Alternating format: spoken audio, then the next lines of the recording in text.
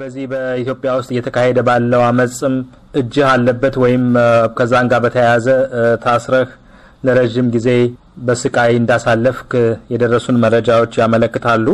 እና ዛሬ ያሳለፍከውን ህይወት ልታካፍለን ፈቃደኛ በመሆን በጣም እያመሰገንኩኝ በቀጥታ በአጭሩ ስለ ራስህ እንድታስተዋውቀን ከዛ የእስር ቤት ህይወትህንም እንድትነግረን ነው እንግዲህ በዚህ ነው ጥያቄን የምጀምረው እና ውይይታችን በዚሁ እንቀጥል። የተያዘው ጳጉሜ አምስት ጳጉሜ አምስት ሁለት ሺህ ስምንት መሬት ከወሰዱኝ በኋላ ከዚያ ከዚያ ጀምሮ ለአራት ወር ጨለማ ቤት ነው የቆየሁት። ማዕከላዊ እስር ቤት?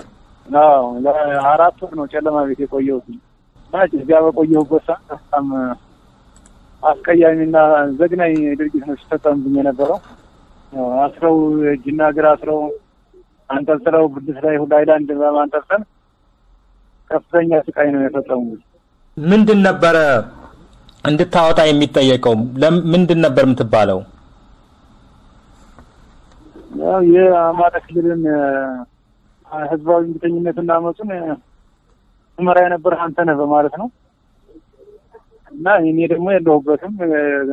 እኔ የምኖረው አዲስ አበባ እንኳን ይህን የምትሉትን ሀገር ጥየው ከወጣሁ አስራ ሶስት አመቴ ነው። አላውቀውም። እኔ የህጋዊ ፓርቲ የሚያድ አባል እንጂ የሌላ ድርጅት ፓርቲ አባል አይደለሁኝም በማለት ነው ያን ያህል መከራ ያሳየኝ የቆየው።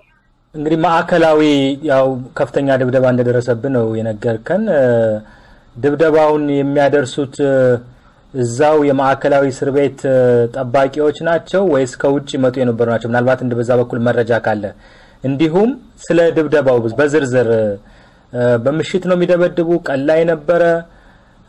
ደብዳቤዎቹ ወንዶች ነበሩ ወይስ ሴቶች ነበሩ? ምክንያቱም አንዳንድ ቦታ ላይ አንዳንድ እስረኞች በሴቶች ሁሉ መደብደባቸውን ብዙ ድርጊት እንደተፈጸመባቸውም ገልጸዋል። እና እስቲ ዘርዘር አድርገህ ንገረን። ያው ሌሊት ነው የሚጠሩ።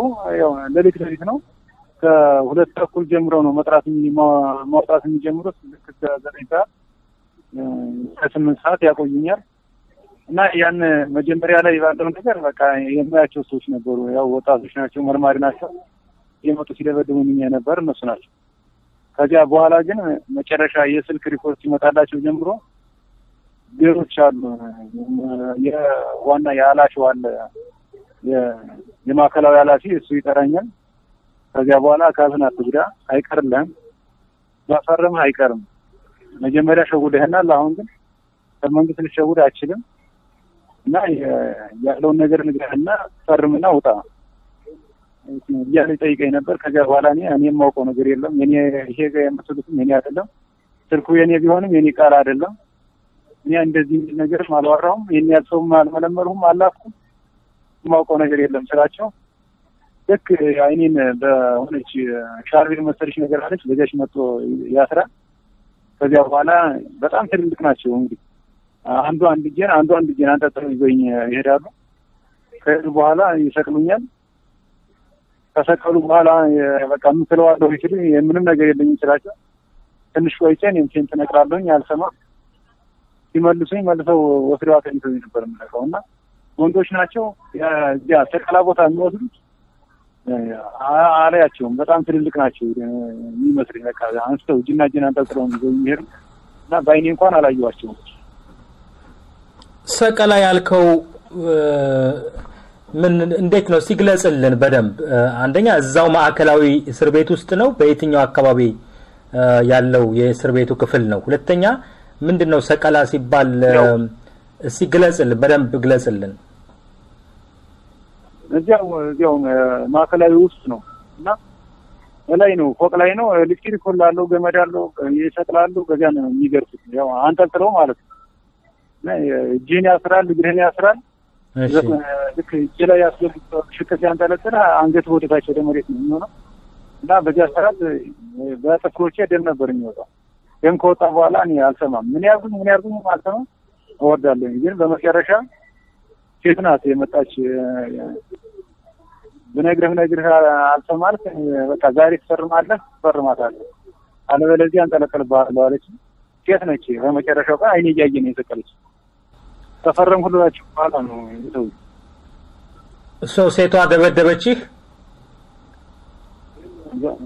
ያው የሆነ ጎማ የለበሰ አለ ብረት በዚያ መታኛለች። የምታንጠለጥልም እሷ የምታንጠለጥል ስትል ምን ማለት ነው? እዛ እጅና እግርህን አስራ ነው የምታንጠለጥልህ? ቅድም ሌሎች ናቸው ብለህ ነበር።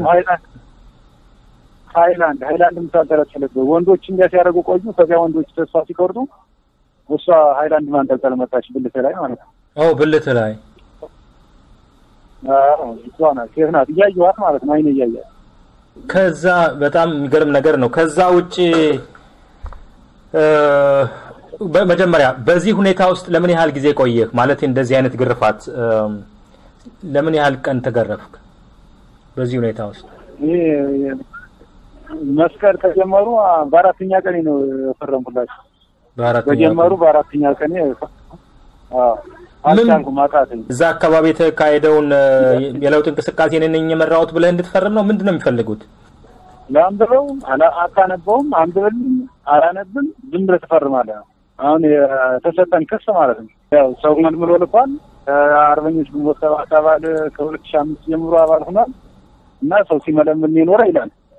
አሁን ያየሁት እኛ አሁን ከተሰጠንም ቂሊንጦ ከወረድኩ በኋላ ነው ያየሁት። ያየሁት እንዲሁ ይገርማል። እና የእሱን ነው እሱን ትፈርማለህ። አማራ ክልልን አደራጅተሃል። አማራ ክልልን ሰልፍና ብጥብጥ መርቻለሁ። በቃ ይሄን ነው የሚለው። ከፈረምክ በኋላ የቀለሉልህ ሄዱ ወይስ ማለት የእስሩ ሁኔታ ወይስ ተመሳሳይ ነገር ነው የነበረው? ከፈረምኩ በኋላ ዱላ የለም። ያው የደበደቡኝ ብልት የማፍጦ ነበረ፣ ደምም የፈሰኝ ነበር በመቀመጫ እና እሱ ያብጦ ነበረ፣ ፈነዳ። ከዚያ በኋላ የእሱ መም ነው ያሰቃየኝ እንጂ ከፈረምኩላቸው በኋላ ለአንድ ቀን እንኳን ዱላ አልነኩኝም። ያው ምርመራም አልወሰዱኝም። በመጨረሻ ነው የክስ ቻርጅ አዘጋጅተው ሁለት ሰው አስቀምጠው ና እንትን የባንድ የሰጠህን ቃል ተናገር አለኝ። መጨረሻ ላይ ላይ ሸራተን ከወጣ በኋላ ማለት ነው። ከዚያ አድርጎ እኔ የማውቀው ነገር አለ ወይ? ቀጥታ ቀጥታ የፈረሙትን ነው ወይ? እንደ ቀጥታ ቀጥታ ዛሬ የት ምን ይበል ምን ይበል ምኑን አውቄው ነው? ለህንዴና እንኳ አትሰራም ትንሽ እንኳ ዛሬ ደግሞ ሰው አስቀምጠህና ብለህ ስትጠይቀኝ ወሮሮ በሀይላንድ መታኝ። ከዚያ ተነስቶ ፈርቺ እና በእርግጫ ነው። ወጣነ ሄዱ ጣለኝ። ያንን ውጣ ሲለኝ እያያችሁ ይሄ ነው። እንደዚህ አድርጎ ነው የደበደበኝ። እንደዚህ አድርጎ አሰረመኝ የሱ ቃል ነው ብሎ የሚነግራቸው ይሄ ቃል አይደለም። እኔ አሸባሪም አይደለሁም። የገደልኩም ያቃጠሉትም ነገር የለም። ሆን ብሎ ነው ይህን እንደዚህ የሚያደርገኝ አልኋቸው። እንዲያስር ሂድ ውጣ ብሎ በእርግጫ መጡ አስወጣኝ። ከዚያ በኋላ አጠጠራንም ማለት አንዳንድ እስረኞች ማዕከላዊ ውስጥ በማንነታቸው በብሔራቸው እንደተሰደቡ ሲናገሩ ነበር እና ምናልባት አንተስ እንዲህ አይነት ነገር አጋጥመሃል? ጅንታ ማማር አተኝቶ እንትን ነው መሬት ላይ አተኝቶ አንገቴ ላይ ቁሙ አንተ ሽንታ ማማራ አማራ እንግዲህ ስልጣን ላይ አይወጣም። አማራ ስልጣን ላይ የሚወጣ በኢህአዴግ ላይ በኢህአዴግ መቃብር ላይ አፈር ሲመለስ ይህን ማመን አለብህ። እንኳን አንተ አይደለም ማንኛውም ሰው ምንም አያመጣም፣ ምንም አያመጣም። ይንጫጫል እንጂ የትም አይደርስም እያለ ይለኝ ነበረ። ሁሎች ናቸው ምራቃቸውን ይተፋሉ፣ ይናደዳሉ። እኔ ደግሞ ከዛ እንደዚያ ሲለኝ ዘላለማዊ መንግስት እንጂ ዘላለማዊ መንግስት የለም፣ ዘላለማዊ ህዝብ እንጂ ዘላለማዊ መንግስት የለም። እንኳን እናንተ አይደለም ደርግም ወድቋል፣ ነገ ትወድቃላችሁ ታያለህ ብለው ነበረ እና እንዲያ ስለው የጭቃ ሾህ እያለ አንገቴ ላይ ይቆምብኝ ነበር እና በጣም ዘግናኝ ከዘግናኝም ዘግናኝ ነው ድርጊታቸው። ሰው ላይ ሽንታቸውን ነው ሽንታቸውን በላይ ላይ የሚሸኑ ነበር ሲሄድ ሲሄድ አምልጥ እያለ ማለት ነው። ማዕከላዊ እስር ቤት ውስጥ ለምን ያህል ጊዜ ቆየህ? አምስት ወር ነው የቆየው። አምስት ወር አምስት ወር ከጳጉሜ አምስት እስከ ጥር ሁለት ድረስ ሸራተን ብለህ የጠቀስከው የእስር ቤት ክፍል ነበር፣ እዛው ማዕከላዊ ውስጥ ነው ያለው። of course so በእነዚህ ማለት ከዋናው ከዚህ ከድብደባ ቦታ ከጨለማ ቤት ከወጣ በኋላ ነገሮቹ ትንሽ ተሻሉን ተሻሉ? የሕክምና አገልግሎት ማግኘት ጀመርክ? ሕክምና ከለከሉኝ። ሕክምናውን እንደዚያውኑ አውጦ ብልቴም አውጦ ጌጤም አውጦ እና ሐኪሟ ጠራችው ተክላይን እና ይሄ ልጅ ይሄድ ይታከም ይሄድ እዚህ ሊሞት ነው ብላ ስትለው ለምን ድብና አይልም ሌላ ሰው ነው የጠራሽኝ መስለኝ እንደዚህ ለጭቃ ሰው ነው የጠራሽኝ ብሎ እንዲሁም በቃ ልክ ሊመታኝ እዚያ ላይም እንትን አለ ደክ ላይ ማለት ነው። ከዚያ እንደዚህ አለ ሄደ ቀረ። ምን ላድርግ በቃ ከዚህ በላይ የማግዝህ ነገር የለኝም። እነሱ ናቸው የሚልኩም እነሱ ናቸው የሚመልሱም እንጂ እኛ ማሳወቅ እንጂ አንችልም አለችኝ። ዝም አልኩ። ከዚያ ማስታገሻ እየሰጠችኝ ያለ መድኃኒት ስትሰጠኝ ፈነዳልኝ። ከፈነዳልኝ በኋላ ትንሽ ያው ተገስ አለልኝ። እስካሁን ድረስም ደግሞ አልቆመም። ይገርማል። አዎ በአሁኑም በህመም ላይ እንደምትገኝ ማህበራዊ ሚዲያ ላይ ተጽፎ አንብቤ ያለውኝ እና እስቲ ወደ ሌሎች ጥያቄዎች ከመሄዴ በፊት አሁን አሁን ስላለበት ሁኔታ ንገረን። በጤና ጉዳይ ማለቴ ነው። በጣም በጣም ታምሜያለሁ። ያው ጥቁር አንበሳ ያው ክሊንቶ ከወረድኩ በኋላ ያው ከብዙ ቀን እንግልት ፍርድ ቤትም አዘዘ። ለምንድን ነው የማታሳክሙት ለምንድን ነው እያለ ትእዛዝ ሰጣቸው። ከዚያ በኋላ ወሰዱኝ። መጀመሪያ ቃሊቲ የሪፈራል ሆስፒታል፣ ቃሊቲ ወደ ፖሊስ ሆስፒታል ላከኝ። ፖሊስ ሆስፒታል ደግሞ ወደ ጥቁር አንበሳ ላከኝ። ከአቅሜ በላይ ነው እና ጥቁር አንበሳ ለአልጋ ወረፋ እያለሁ የወጣው።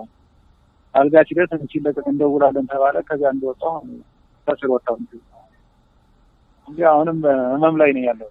አሁንም ያው ሕክምና የተከታተልክ ነው። ግን ደግሞ ማህበራዊ ሚዲያ ላይ ያው የእርዳታም ጥያቄ ጠይቀ ነበረ። እንግዲህ ከእስር ቤት ነው የወጣኸው፣ ምንም ነገር የለህም እና ለመታከም በጣም ከባድ ነው። ያው የኢትዮጵያ ሕዝብ አሁንም የአንዳንድ ሰዎች እየደወሉልኝ ነው እና ተጎነነኝ እያሉ ነው እና አቅም ያለው በአቅሙ አቅም የሌለው በስልክ እንኳ አይዞህ እንዲለኝ ይፈልጋለሁ። አወቀ፣ የፍርድ ቤት ሁኔታ ውስጥ ምን ይመስል ነበረ? እስቲ ንገረን ስለዛ ስላሳለፍከው የፍርድ ሂደት። ፍርድ ቤቱ ፍርድ ቤቱ ያው የደህንነት ፍርድ ቤት ነው። የኛ ተመርጦ ነው የእነ ንግስት ይርጋ መዝገብ እኔ ነው የሚይዘው ነው አንድ ደህንነት በቃ እኔ ዳኛ አይደለሁ እሱ ደህንነት ነው። የእነሱን መዝገብ እኔ ነው የሚይዙ ነው። ያለ ምስክር ያለ ምንም ነገር ነው። እስከ ሞት በሚያስቀጣ አንቀጽ ላይ ጥፋተኛ ያለና ምስክር በሌለበት ምንም ነገር በሌለበት ምንም ነገር ሳይመጣ ሁላችንንም ማለት ይቻላል ስድስታችንም ጥፋተኛ ናችሁ። እኛ የያዝነውን የጻፍነውን ወረቀት እንኳ ጠበቃችንም እኛም በግላችን ጽፈን የያዝነውን በደንብ ሳይ እሱን አሁን የማይበት ሰዓት የለም ጥፋተኛ ናችሁ ብለናል ያለ እና ደህንነት ምስዳኝን ነበረ። በመጨረሻ ውሳኔ ሰጧችሁ? ውሳኔ አልሰጡንም። ጥፋተኛ ከዚያ የሆነ ቀን እኛ መከላከያ ምስክር ሁሉንም ነው ጠርተን የነበረ ብዙ ሰው ነበር የጠራ ነው እና እኛ ልንገባ ስንል የመንግስት መዝገብ ለምስክር ስለሆነ ይቆየዋል ቆየዋል ተላላኪዎች። ከዚያ እኛም ለምንድን ነው የምንቆይ? ሁሉም እነሱ ካለዱ አነድም አንድ ላይ የምንሄደው አንድ ላይ ነው የመጣ ሰዓታችን ሶስት ሰዓት ተኩል እንደሚለው የምንቆይበት ምክንያት የለም። ጋሻ አለምነ ነበር አለምነህ አባሪያችን ለምንድን ነው እኛ ምን ተለይተን የምንቀረው? አንድ ላይ ነው የምንገባ ሲላቸው ሁሉም ሰው እነሱ ካልገቡ አንገባም ማለት መልሰው ይዘውን መጡ። አሁን መልሰው ይዘውን ከመጡ በኋላ በትዕዛዝ ለመስጠት ብሎ ቀጥሮታል። ትዕዛዝ ለመስጠት ብሎ ቀጥሮ እኛ እንደ አጋጣሚ ሆኖ ለስልጠና ወደ ሰንዳፋ ሄደናል። ሄርን ተለቀን ማለት ነው። ያው ፍቹ መጡ። የንግስትና ቴዲ ቀርተው ነበረ። እነሱ ሄደው ሲሰሙ መከላከል አንፈልግም ብለዋል ብለው ነው ያቀረቡት እንግዲህ መከላከል አንፈልግም ብለዋል ብለው ሲቀርብ ያለውን ነገር ተናገሩ። እነሱም ሁሎችም ተናግረዋል። እንደገና ለምስክር ብለው ቀጠሩ። ከመሀል ሳይመሰክር ወጣን እንጂ የኛ የሌለ ነው። እኛ ላይ የተሰራው ደፋ እጅግ በጣም የሚዘገንን አወቀ። እንግዲህ አንተ ወደ እስር ቤት ከመግባትህ በፊት በማህበራዊ ሚዲያም በተለያዩ ነገሮችም ፖለቲካዊ እንቅስቃሴዎችን በማድረግ ፊት በመሆን ትታወቃለህ። እናንተ እስር ቤት ከገባችሁ በኋላ የኢትዮጵያ ሁኔታ አሁንም እንደምታየው ነው።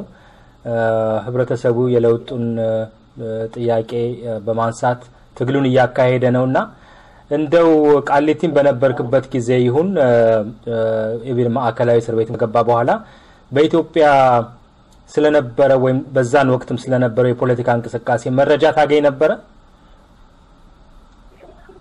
አናገኝም ነበር። ማዕከላዊ አናገኝም፣ ግን ቄሊንጦ ከወረድን በኋላ ሰዎች ቤተሰብ ስለሚመጣ ይነግሩኛል እና ኦሮሞዎችም በብዛት ኦሮሞዎች ነበሩ። እኔ እንደ አጋጣሚ ሆኖ class ውስጥ ከሀያ አራት ሰው አንድ እኔ ብቻ ነኝ አማራ ነበር።